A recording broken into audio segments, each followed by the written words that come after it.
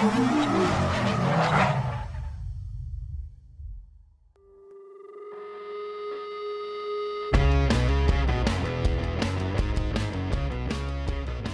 E-Class sedan is all new for 2017 and adopts the more curvy design of its C-Class and S-Class stablemates. The interior styling and appointments also emulate those cars, with a large 12.3-inch infotainment screen set into a dashboard that's richly trimmed with leather, wood, and metal.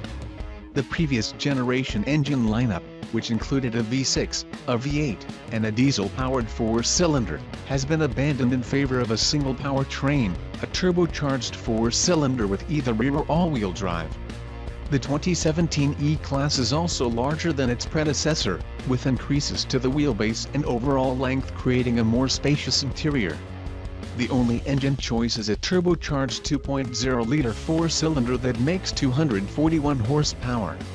It teams with rear or all-wheel drive and a 9-speed automatic. In our testing, it motivated an all-wheel drive E-Class to 60 miles per hour in 6.5 seconds. While very quiet during normal driving, under heavy throttle, the engine can sound coarse. The 9-speed automatic transmission is unobtrusive in comfort mode, going about its business seamlessly. Select Sport mode, and it snaps off quick shifts. In Sport Plus mode, which seems out of place in a car tuned for maximum comfort, the gear shifts are abrupt and sometimes border on violent. While the front seats are spacious and comfortable, rear seat legroom is average for the class.